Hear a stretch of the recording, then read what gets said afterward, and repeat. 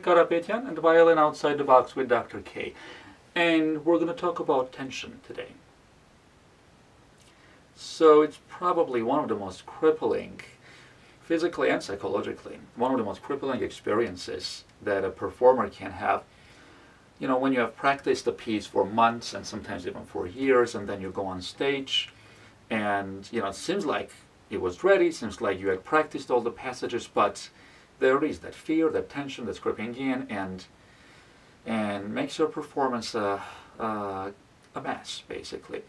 Um, I have had that experience a couple of times. In fact, the reason I started the, uh, this video with that uh, little snippet of Paganini Caprice was that because once, at least once, I uh, played it really terribly. I thought I was ready, walked on the stage, I was tensed, and things didn't go the way they had to.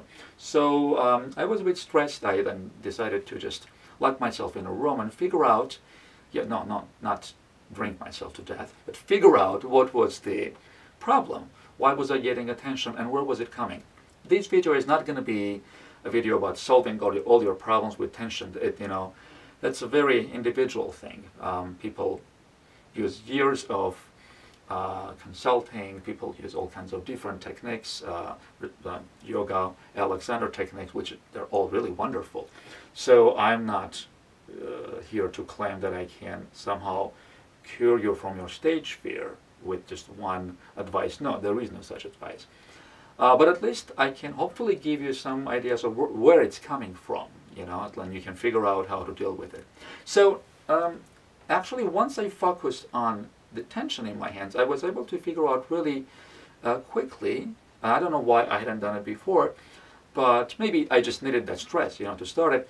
I realized that where is that tension? Okay, I'm pushing my finger. The, the fingers, uh, well, the fingers are attached to my wrist somehow, you know. So is it the wrist?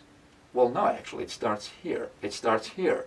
Is it my biceps, my triceps, my arm, shoulder? None.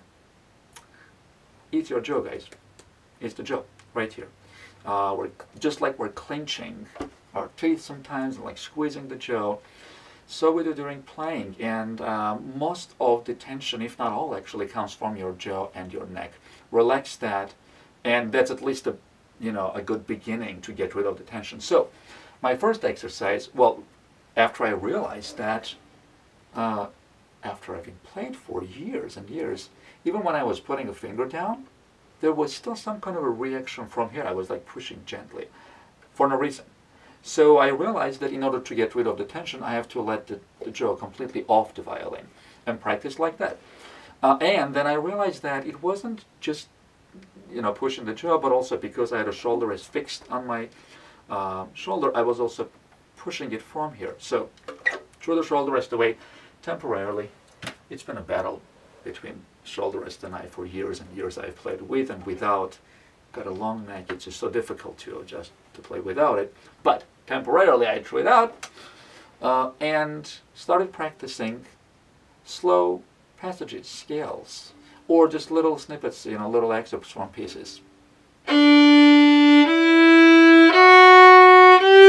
With my head, my jaw completely off the chin rest. Yeah, and nothing really touching my shoulder here except the body of the violin.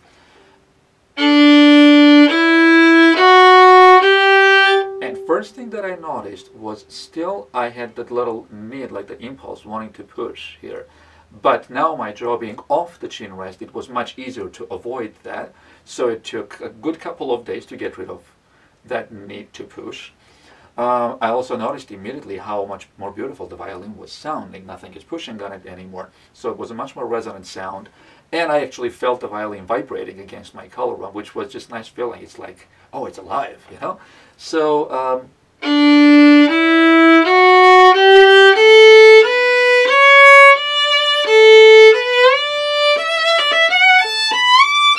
was a bit of a problem shifting because there was nothing to hold the violin. But then I also realized, well, I can just quickly just put my jaw in here, just to gently push it down when I'm shifting so the violin doesn't fall or slide down like that, and then continue playing. Um, uh, for about a month or two, I remember dedicating my about a fourth, sometimes even third of my practice to practicing without the shoulder rest and chin off the chin rest. And gradually, uh, I was able to get rid of the need to push. And then when finally, regrettably, I brought the chin rest, uh, shoulder rest back, I realized that I wasn't squeezing. I was kind of I was kind of aware of this already. I wasn't really squeezing it, uh, squeezing my shoulder up. That was a big revelation, and um, now when I practice, really most of the time, almost 100% of time, I'm free of tension. Performance is a different thing. Again, I, I, mean, I get tense too. I get a little scared too sometimes, most of the times. Uh, and I still have to teach myself how to completely get rid of that tension on stage.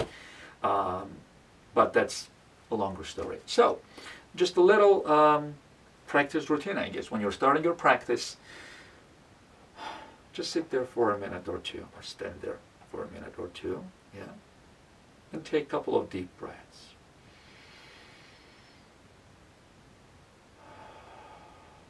Get that tension, get that anxiety out of you completely. And it's just nice to breathe air completely with your lungs, you know, it, it just makes you feel so much better for a few seconds. Violin up on the shoulder, let your jaw, your head off the violin, and practice your scales in a first position if you want, or shifting no, with your head off completely.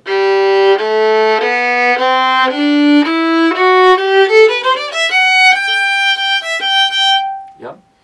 Um, and again, it is just a few minutes a day.